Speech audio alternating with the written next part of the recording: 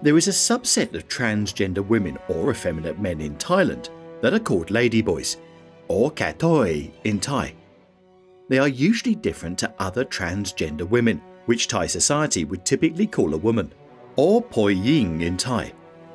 Ladyboys play a large role in the nightlife of cities like Bangkok, Phuket, and Pattaya.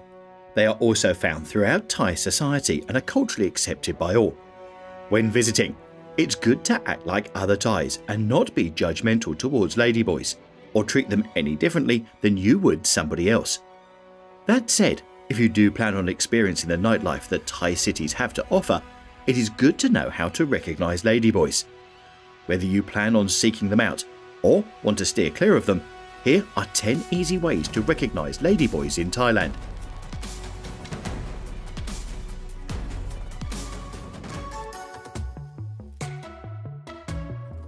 From a distance, one of the first indicators of a ladyboy is her height.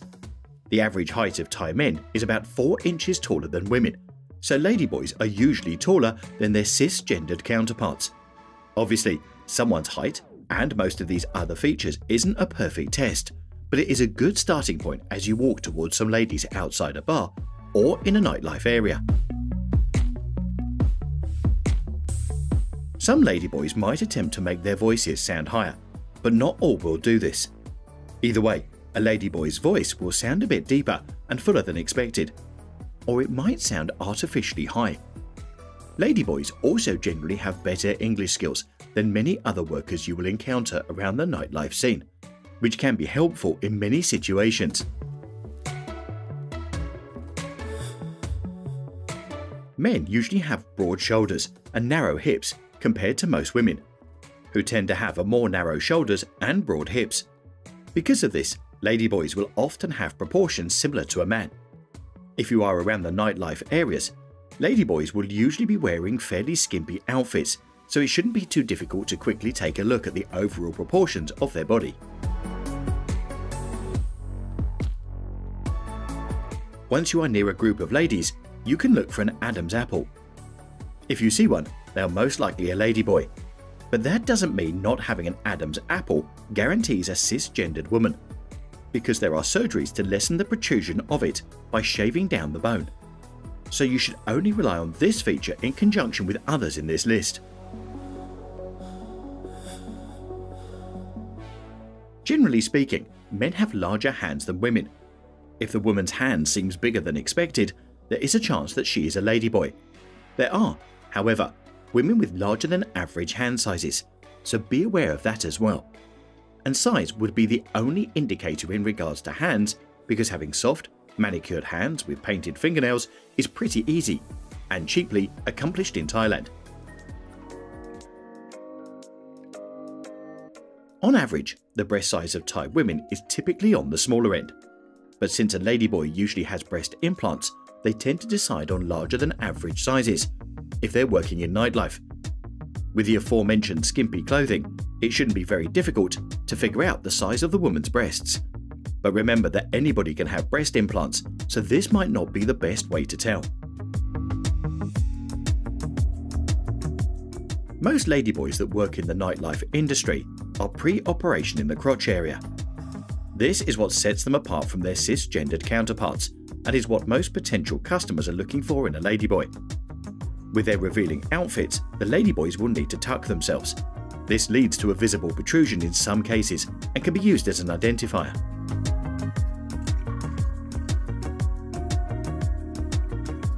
This isn't about a negative attitude, but more a boisterous attitude that a ladyboy might have.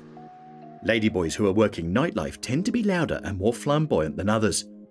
If you're in a nightlife area, ladyboys can be a bit more aggressive in their propositions or a bit bolder in their conversation. Overall, they do seem to be having more fun at all times.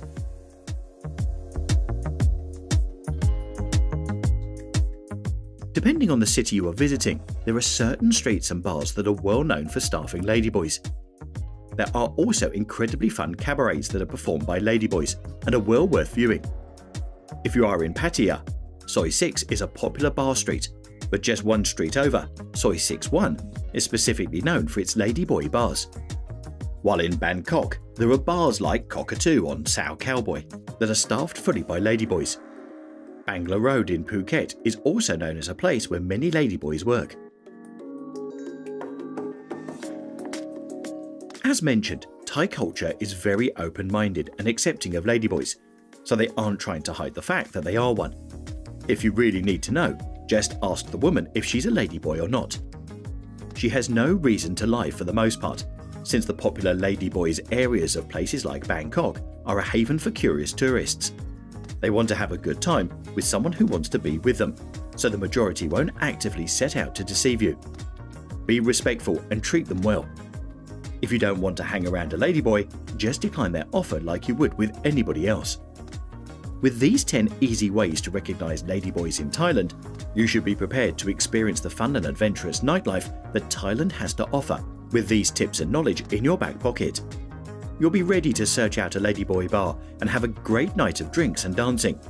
Or you can use this information to make sure you're hanging out with a cisgender woman. Either way, have fun, be respectful, and enjoy the exciting options found in the major cities of Thailand.